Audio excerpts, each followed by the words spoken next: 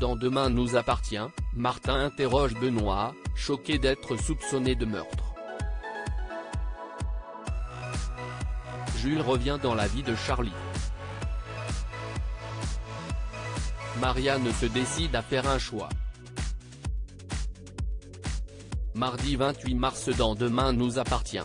Lisa assure à Martin que Benoît, Jean-Baptiste Monnier, utilise le même savon à barbe que le tueur, même si elle a du mal à croire que son ami est le coupable. Georges a trouvé des informations sur la clé USB et le lien potentiel qu'elle pourrait avoir avec le professeur de SVT, mais aussi sur le fait que ce dernier a été traité pour une leucémie en 2019 et en garde une cicatrice comparable à celle du tueur. Lisa va voir Amel au lycée pour lui demander de rester loin de Benoît. Demain nous appartient, Benoît est-il le tueur en série? Leiden ne correspond pas à celui des scènes de crime.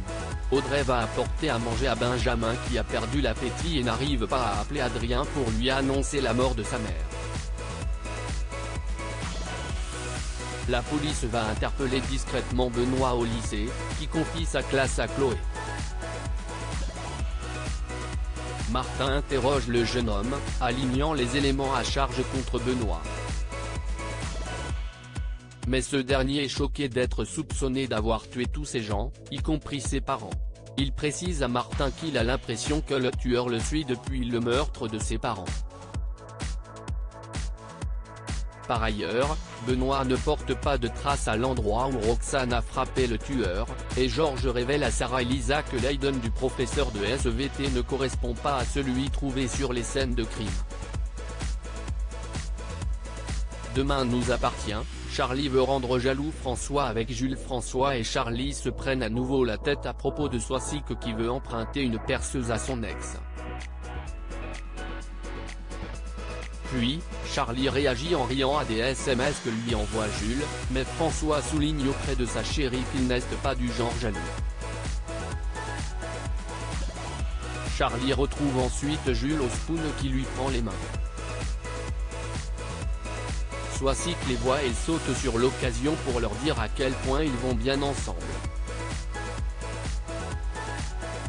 Soisic vient ensuite récupérer la perceuse et raconte la scène à François qui lui demande d'arrêter son petit jeu pour semer la zizanie entre Charlie et lui.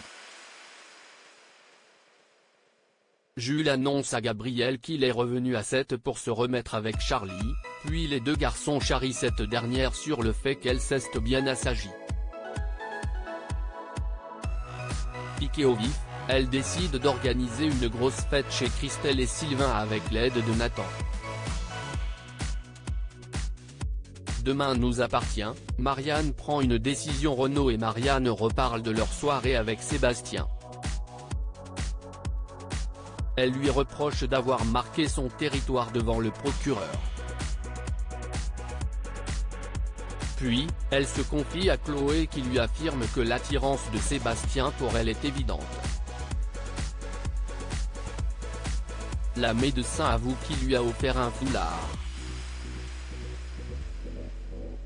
Ensuite, Marianne va voir Sébastien pour s'excuser du comportement de Renaud mais aussi pour lui rendre le foulard afin de dissiper les ambiguïtés entre eux. Plus tard, Camille passe voir son grand-père et remarque le foulard qu'il lui donne. Il se montre fuyant quand elle lui demande s'il va bien. Christelle avoue à Marianne avoir commis une gaffe en parlant du foulard à Renaud.